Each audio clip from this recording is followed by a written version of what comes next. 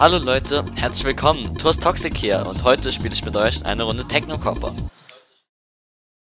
Also mein Rekord liegt ungefähr bei 5200, den versuche ich jetzt zu knacken. Also bei dem Spiel wird sehr viel Skill erfordert, also ja, mal schauen, was gerade so die Runde geht.